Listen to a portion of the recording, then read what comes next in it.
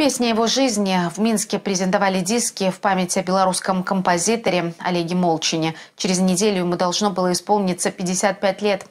Олег Молчан работал в самых разных жанрах, от эстрадной песни и джаза до академической хоровой музыки.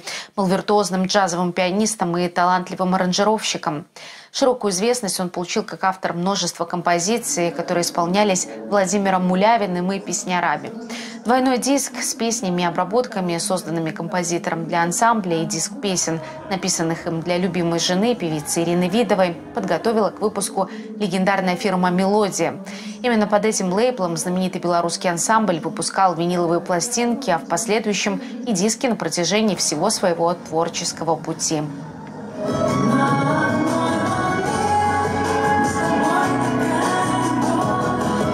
Действительно были на одной волне 24 часа в сутки. Мы были неразлучны.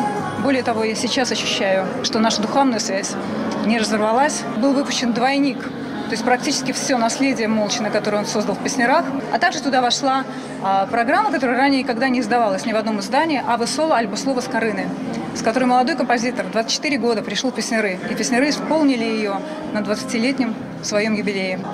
Песни Олега Молчина брали в репертуар ведущие артисты и коллективы Беларуси. Продолжают их исполнять экс-солисты песняров. А песня, исполненная Владимиром Мулявиным «Молитва» на стихи Янки Купалы еще при жизни композитора, стала классикой и духовным гимном белорусов. Об Олеге Молчине знают и далеко за пределами Беларуси. При жизни композитор возглавлял Евразийскую конфедерацию обществ правообладателей. Сейчас друзья и коллеги готовятся к памятному юбилейному концерту, который пройдет 11 апреля.